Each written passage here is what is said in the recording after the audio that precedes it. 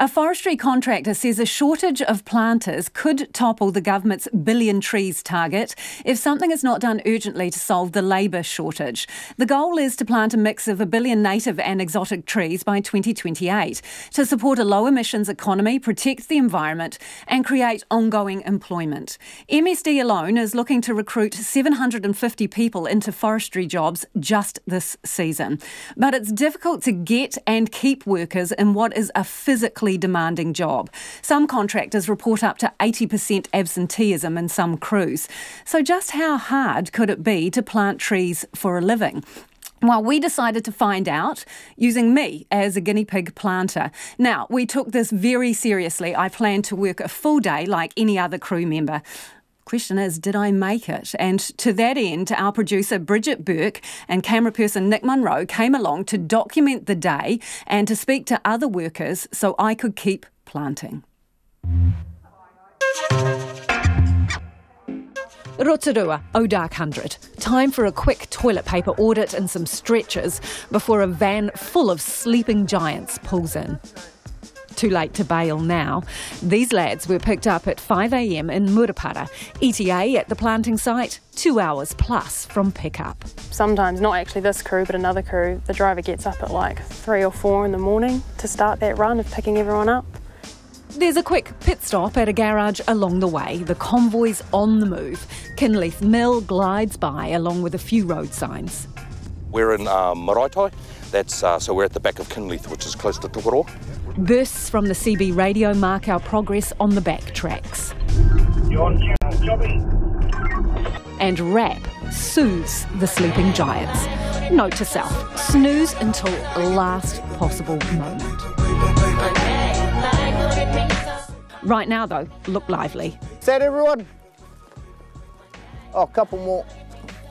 Um, PPE gear, everybody's all right with that. Looks all pretty good. New set of boots at the back there guilty as charged. Joe leads the safety briefing. Um, drugs and alcohol, still an ongoing thing, eh? It's good. Um, everybody here is 100% drug free, which is good.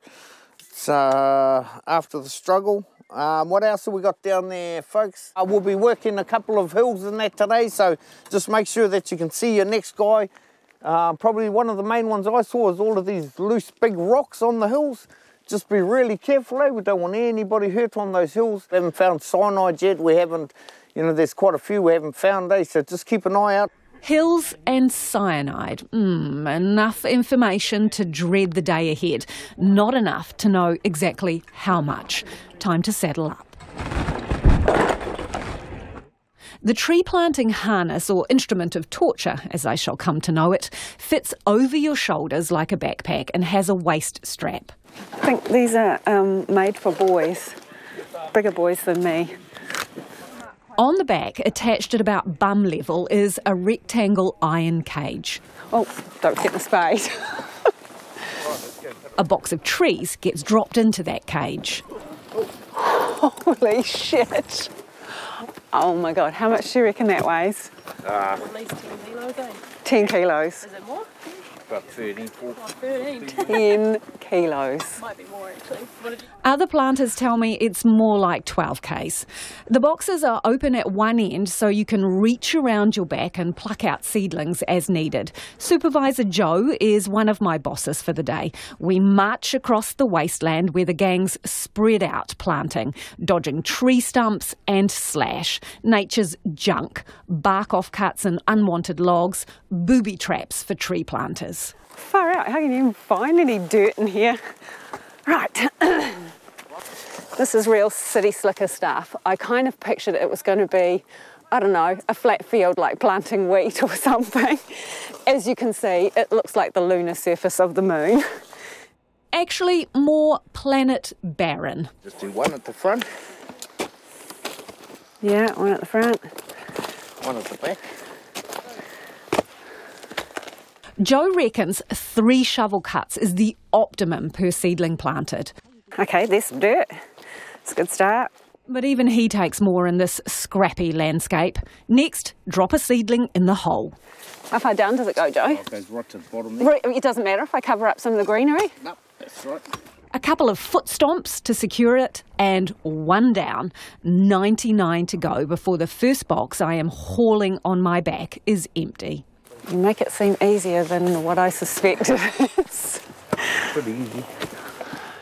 Kim is the forest manager. The facts and figures in her head could make you dizzy. Time allowed for this job. Um, just under two weeks. And that's how many trees? Uh, it's about 100 hectares and there's 833 stems a hectare. Target in this block is 800 trees per person, so just under a hectare. And the guys have um, been achieving higher than that in most areas. And then on a day like today where they started with um, a tough start in all the in all the wood, it'll be probably on target or just above. Speaking of targets, when it comes to Shane Jones's billion trees, to date 44,386 hectares have been funded for planting. Using Kim's ratios, that's heading towards 37 million seedlings. What we plant here will count towards the billion, but it's not funded. For the 1BT program, it's not allowed to have been forest for the last five years. So anything that's been in trees and harvested and is getting replanted within the last five years is not eligible for the funding. 1BT, that's forestry talk for 1 billion trees. To the side of me and Joe, one of the veterans is pawing the ground with his feet, checking for dirt under the slash.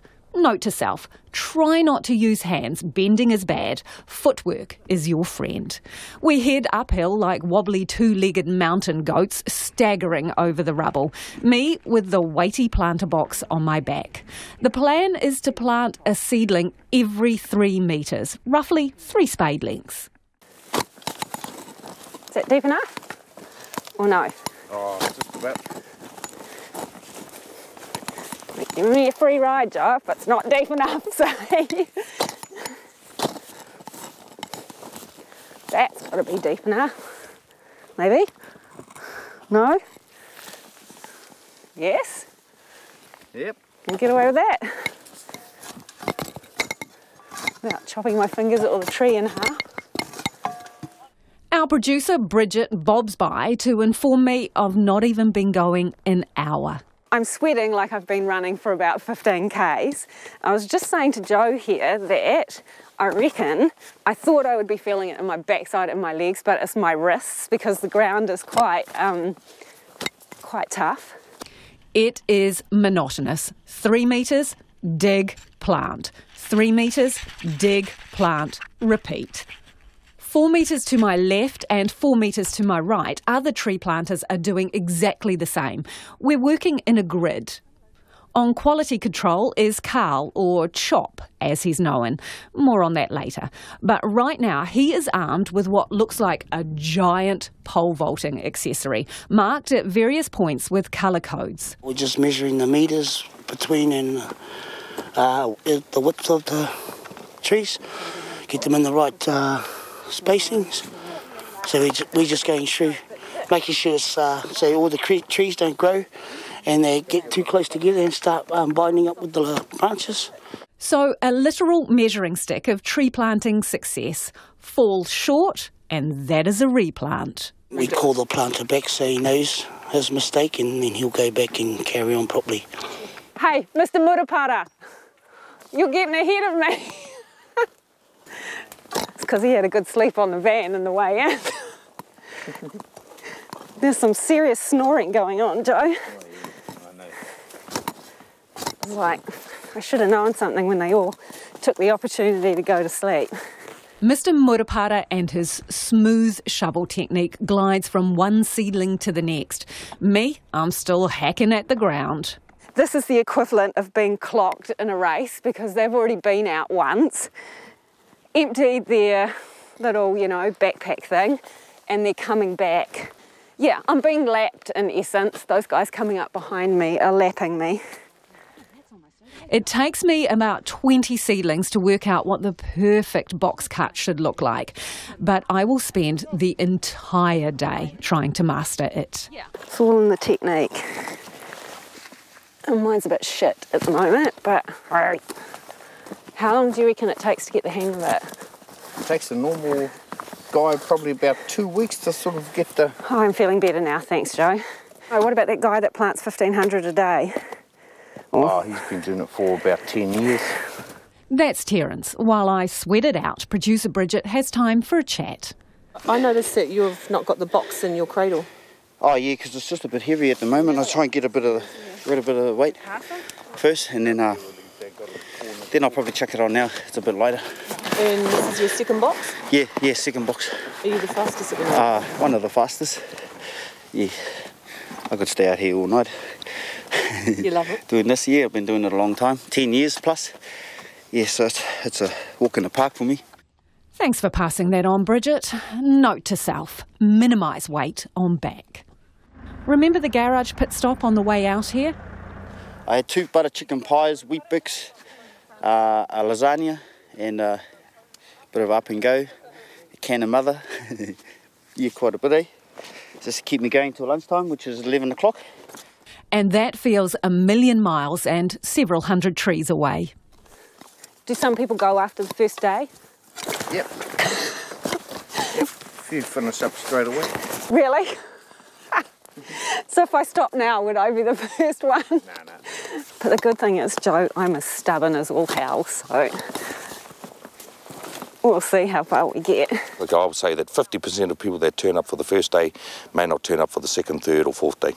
The 80% absenteeism consistently week in, week out, and that's with us trying to make the job really enjoyable and um, you know really positive.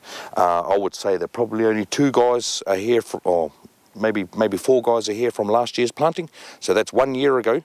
We've probably replaced just about 50% of our crew. That's Darren, the contractor that supplies the planting crew. What are they doing? Tell them to get come back up on the hill, bro. Oh. Supervision at its best. Finding a soft spot there.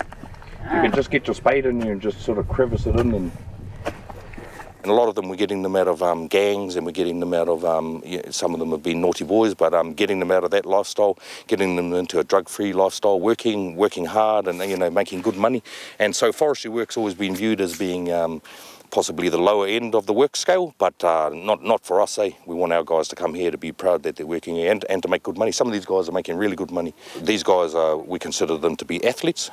In the year ending May 2019, the Ministry of Social Development's placed 283 people in forestry jobs.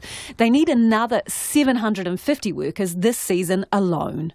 Lack of money for some families in New Zealand can be can be um, a root of a lot of problems. Them being able to provide for their families a decent living, definitely I can see that that promotes a happier and a, better uh, family life.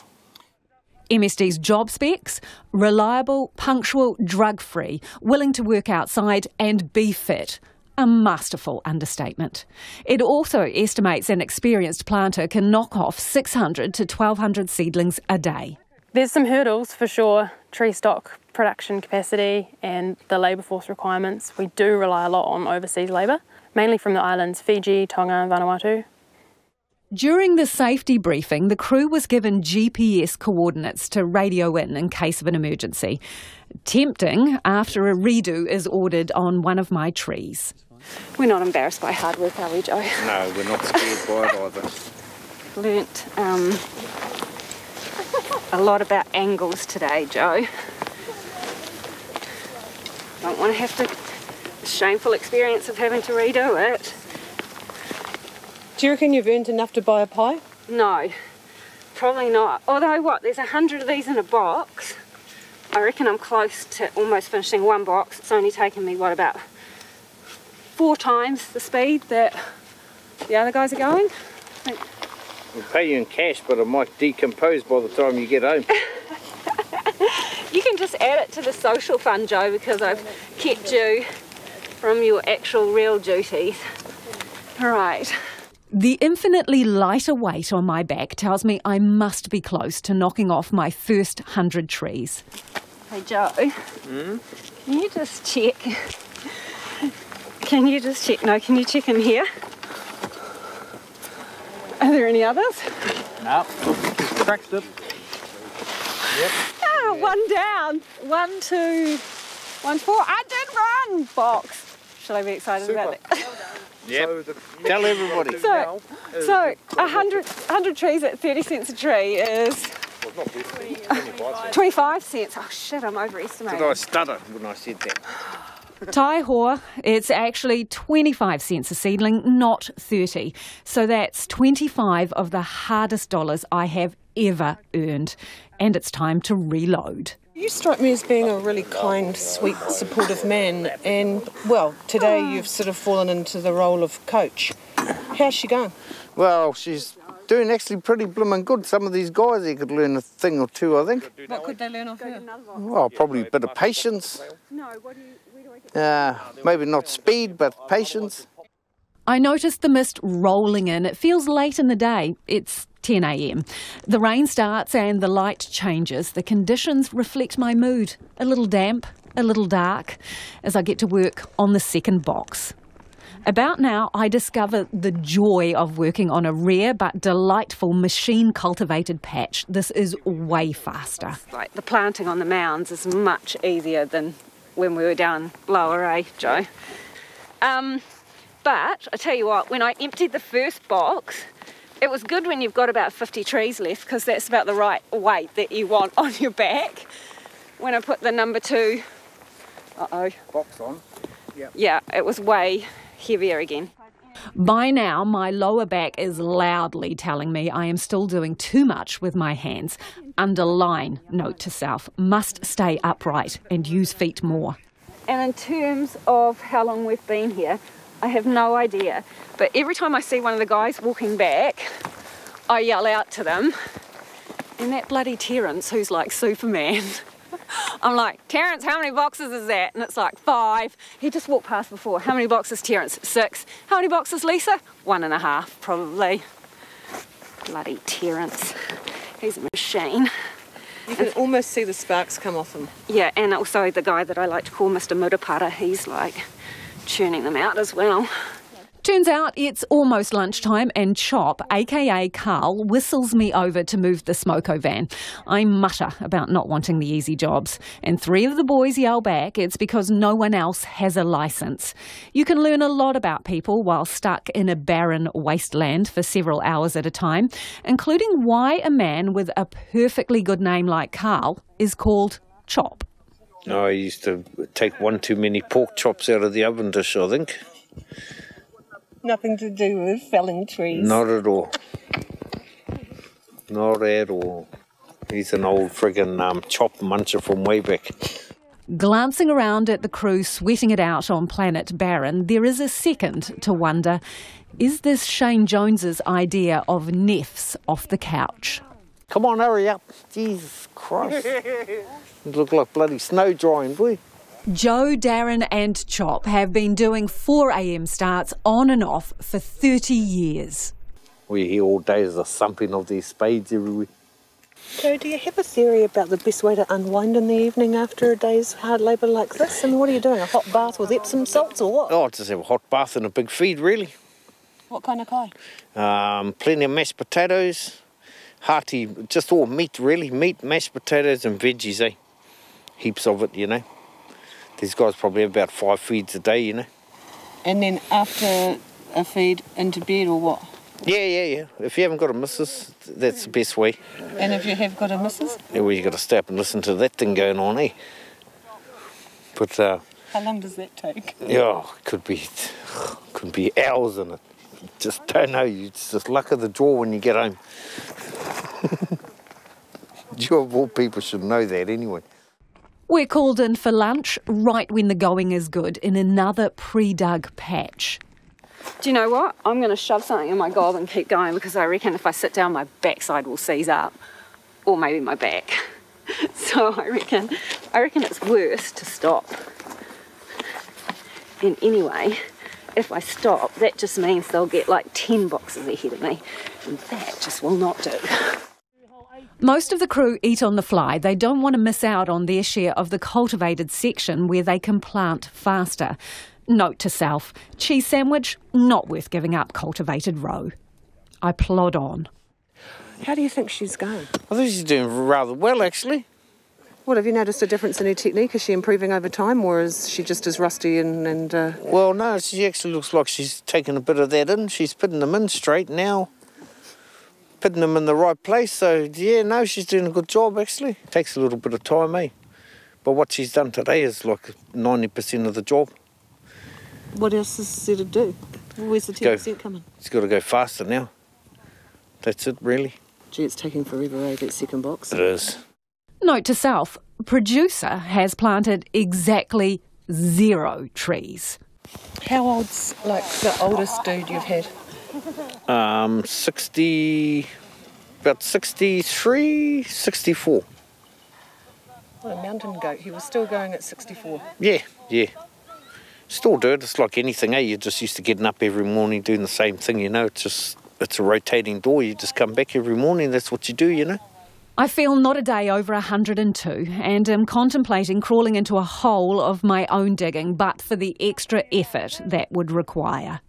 I always think in the movies, Choppy, when they're burying bodies, you know, they're like out the backyard, bloody burying bodies, they make it look so much easier than it actually is. Mid afternoon, and I have a new supervisor slash babysitter, Choppy. Yup, Mr. Quality Control with his measuring stick. Should I still put this one here, Choppy? Yep. Okay. Apparently, I've been going six hours at the moment. I'm not wearing a watch, so I have no idea what time it is, and it kind of seems to be getting a bit darker. But one of the guys walked past with a box before and said when he picked it up, it was 1.30, which means there's you know a few hours to go yet. Eek. I'm only up to my fourth box.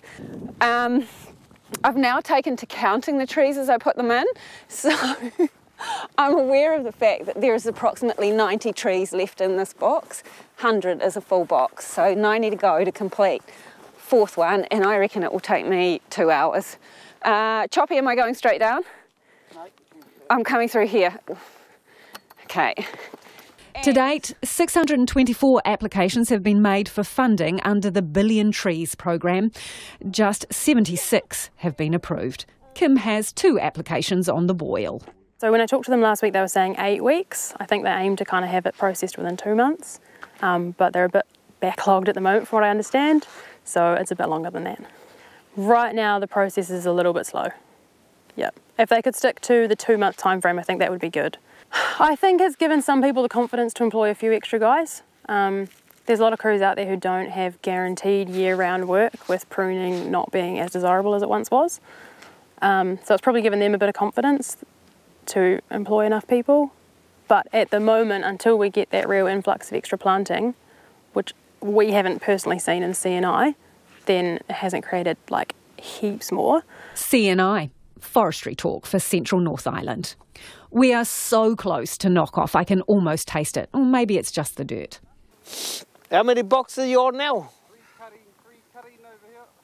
Three cutting, yep. Uh, 11. 11, eh? What about you, Rakoto? 10. 10, eh?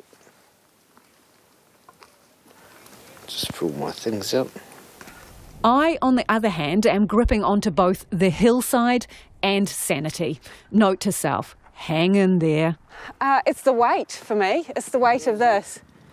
And I reckon I've got a few blisters on my hands. My office worker hands. You're following the guy with the big stick who's measuring my planting. Doing a superb job. Uh oh. Hope they're not all waiting on me.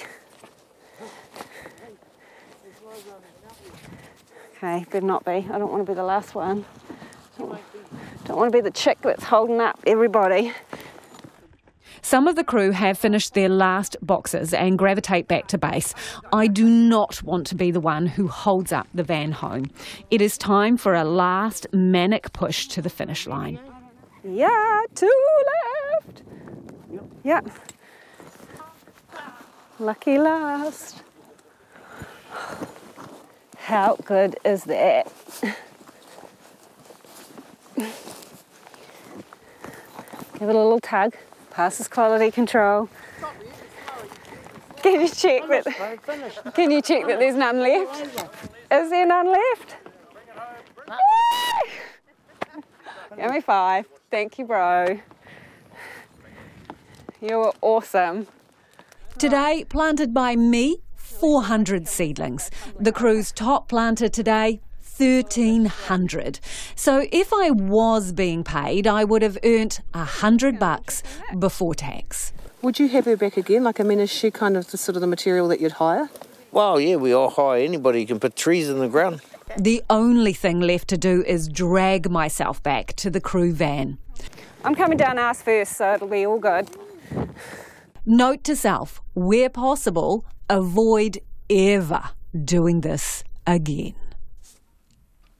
Now, that item will go up on our Facebook page and online if you'd like to see me suffer in pictures. And just a very big thank you to Choppy, Joe, Darren, Kim, and the rest of the crew who had me along for the day. They were the best possible people I could be doing that torturous shift with. And after six o'clock, we will hear from the forestry contractor Nathan Fogden.